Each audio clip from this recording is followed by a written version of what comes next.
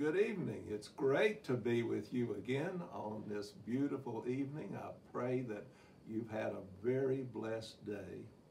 And for those of you who cannot say, I feel blessed today, I pray that you feel the presence of the Lord with you, who has been your help and comforter and strength, and that is the greatest blessing of all. But it's good for us to be together. I'm Ray Amos, pastor of First United Methodist Church in Elizabethton, Tennessee. And I cherish these few moments that we get to share together as we think about our wonderful Savior and the glorious, glorious gospel, the good news of Jesus Christ our Lord. And it is in Jesus' name that we come together and in Jesus' name that we pray. So let us pray. Heavenly Father, we thank you for the gift of life that you have given to us. We thank you for being able to experience life at this time in history with all of its ups and downs. God is so good and what a wonderful world. We thank you that you give us a small part in it and that we can share uh, your love, your good news, and the joy of what it means to live by faith with all of those around us. We pray in the name of Jesus for everyone who is going through difficulties today, for those who just need an extra touch of the hand of God. We pray that they will feel the blessing, the hand that is already there. And we pray, Heavenly Father, that we'll be found faithful to you, pleasing to you in the way that we live our lives. And as we take a look at the scripture this evening, we ask that you speak to us. Open our hearts, our minds, that we might hear what the Spirit has to say to each one of us. And now, again, we lift up our prayers and our hearts and thanksgiving and joy to you in the name of our Savior, Jesus Christ. Amen. Well, as we share together this evening, I want to take us to the uh, book of Titus. Titus chapter 3, verse 1. Remind the believers to submit to the government and its officers. They should be obedient always, ready to do what is good. They must not slander anyone and must avoid quarreling. Instead, they should be gentle and show true humility to everyone. Once we too were foolish and disobedient. We were misled and became slaves to many lusts and pleasures. Our lives were full of evil and envy, and we hated each other. But when God our Savior revealed His kindness and love, He saved us not because of the righteous things that we had done, but because of his mercy. He washed away our sins, giving us new birth and new life through the Holy Spirit. He generously poured out the Spirit upon us through Jesus Christ our Savior. Because of his grace, he made us right in his sight and gave us confidence that we will inherit eternal life. This is a trustworthy saying, and I want you to insist on these teachings so that all who trust in God will devote themselves to doing good. These teachings are good and beneficial for everyone. This is a trustworthy saying. Do not get involved in foolish discussions about spiritual pedigrees or in quarrels and fights about obedience to the law. These things are useless and a waste of time. Well, God bless His Word as we think about those thoughts this evening that Paul has given to Titus and God has given to us. We live in a different time. We talk about that uh, often these days. Uh, things are changing right before our very eyes. Christianity has received many different kinds of challenges. Our faith is challenged.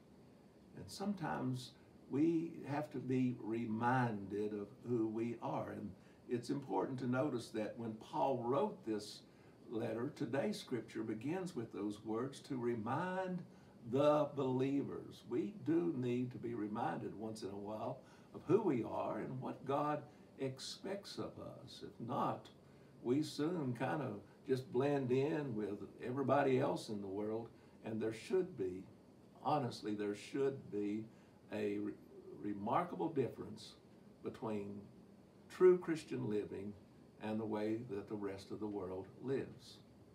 I've always thought how important it is that when Jesus ascended into heaven and the disciples came down off that mountain, that they went into the upper room and they remained there until the Holy Spirit came upon them. And it's just a reminder that God expects us to live on a higher level when it comes to uh, our morality, uh, our the way we conduct our lives, the way we treat one another and love one another. God expects us to live on a higher level than this world so that the world might be able to see what's possible, the kind of life that is possible when you live for Jesus. A question that uh, I would ask each of us as we look at this passage is do you think, do you honestly believe that the way that you live your life, conduct your business, outside of the church, we know that when we come to the church, we behave in certain ways, at least I hope we do. But once we leave the church, do you believe that your Christian worship and life still goes on and that your work, your life that you live should be making a difference? I would hope that you say yes. Because our Christian faith is not just something we do when we gather together as a congregation, but it's the way we live our life constantly. I would suggest to you that if we cannot worship in the living of our lives throughout the week, we're not going to be ready for worship come Sunday morning or whenever uh, you may gather for worship. One of the ways that God loves the world is by saving people, by saving us all from sin. We love that passage of scripture in John 3:16. For God so loved the world that he gave his only begotten son that whosoever believeth in him would not perish but have eternal life. Now, I know we can take that scripture very personal, and we should. God so loved me. God so loved you. That's true, He does. But we want to make sure we keep the first intent of that scripture God so loved the world.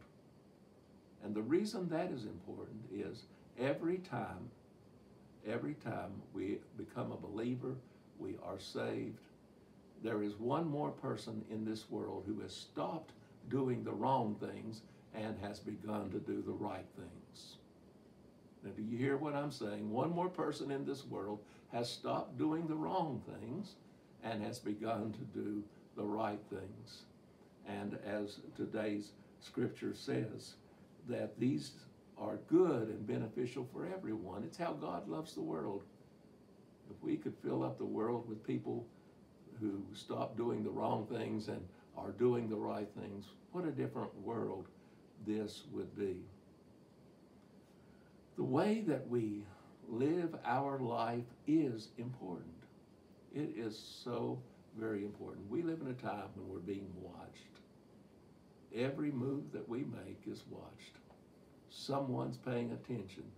Does our walk of faith match the talk that we have? Are we just talking and not doing it? God expects us not only to be hearers of the word, but he expects us to be doers of the word also.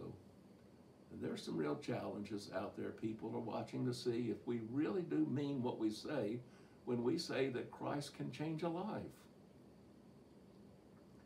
I had a friend who's now gone to be with the Lord, but shortly after I met him, we were riding together one evening in the car going to a meeting, and he was telling me about his son, and his son had died uh, in high school. I think he was a senior and a very fine young man, but uh, he, he died of a disease, and, and it was a tragic time for him. Broke certainly broke their hearts.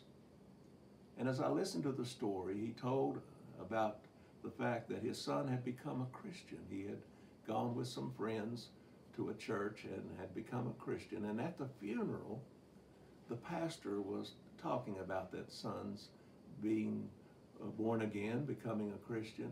And the pastor had said to that son, when you get home, I know you're going to tell your uh, mother and father right away. And, and the son said, no, I'm not going to tell them. He said, and I think there's great wisdom behind this. He said, if this is real, if it's really happened in my life, I should not have to tell them. They're going to notice. Well, the man, as he told me that, became very quiet, and then I asked the obvious question Did you notice? And he just simply shook his head, and by that time, tears had formed in his eyes. And he said, Yes, I did. Yes, I did. He was a changed person. I would hope that people could look into our eyes and our life and say, there's something different about you. And we would know what that difference is. We've come face to face with Jesus. We've learned of his redeeming love. We have the joy of being forgiven. And by the help of the Holy Spirit, we're able to live more like Jesus. And that should be the desire, shouldn't it, of every single one of us to be more like Jesus in all of our living. But we do tend to forget who we are sometimes and do need to be reminded. I think of an old song that Dottie Rambo used to sing that as I grew up hearing this song and it means so much to me. And it says, roll back the curtains of memory now and then. Show me where you brought me from and where I could have been.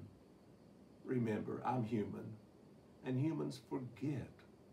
So remind me, remind me, dear Lord. And that's important because we soon after we become Christians, we're not careful. We start being a bit judgmental of others who are living the same life that we once lived not long ago. We need to learn to remember who we were and what it's like and what it's like to be redeemed and show a little bit of humility in our lives, a little gratitude toward Christ who has saved us. Christians are has-beens. Hear what I'm saying? We are has-beens. Uh, he writes in today's scripture the way it used to be for us, how we didn't get along with one another, and we were slaves, he says, to many lusts and pleasures. We were filled with envy and evil. But he says all of that has changed. And the reason it has changed is because Jesus loved us enough to save us. Let's look at our salvation for just a moment. Where did it come from? How did we obtain it? There's a beautiful passage of scripture that says, God saved us by grace. And he saved us when we believed. And you can't take credit for this. It's a gift from God. Salvation is not a reward for the good things we have done, so none of us can boast about it. For we are God's masterpiece. He has created us anew in Christ Jesus so we can do the good things that He planned for us a long time ago. You see, the source of our salvation is God's mercy. It has absolutely nothing to do with any of our efforts. We could never be good enough to become a Christian. It is all by the love and the mercy and the kindness of God. He found us lost. He came to us. He did what was necessary on Calvary's cross to pay the penalty of our sins. He rose from the dead so he could offer us eternal life. He did it all for each one of us. And can't we do for him now this wonderful thing of accepting the free gift of salvation? It's abundant. There's plenty of it. God does not have to be stingy with salvation. There's enough of God's love to go around, and it is eternal. Our salvation is eternal, and that we can be thankful. I've often said we need Jesus for our eternal salvation. We do. Only Jesus can give us eternal salvation. But we need the Holy Spirit for our internal salvation. How can we live the way that God wants us to do but on our own? We can't. But Jesus gave us everything we need to live a life of love and humility and kindness and goodness. He's given us this as a free gift. There's no reason for any one of us to fail in our Christian living. Oh, I know we've got up days and down days, good days and bad days. I know about all of that. That's part of this human life that we have. But every day can end in victory. We sing that old hymn, Victory in Jesus. It's that's where it is, in Jesus, my Savior, forever. And then once He has saved us, we have so much to give to this world around us that He loves.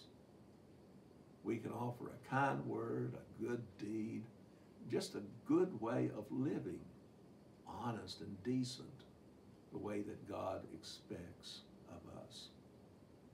A lot of challenges out there these days, and we are people who are expected of God to meet those challenges by being like Jesus. In the book of Acts, chapter 10, verse 38, it tells us that Jesus went about doing good, for God was with him. Well, that's the same for us. I'm not talking about doing a good deed now and then or taking on a, a special project, mission project or something at the church. That's those things are good in themselves. But he's talking about a consistent life of goodness. Uh, whether you're in the church or you're down at the supermarket, uh, whether you're here or you're, you're going up and down the roads and someone cuts you off or something, uh, you, you, your whole life is different. You don't, you don't respond the way you used to because you found something better in Jesus Christ. I pray that for each one of us that our lives will reflect what can be in this world when Jesus comes into our heart. It can be a wonderful world made better by the grace and love of Christ. Hallelujah.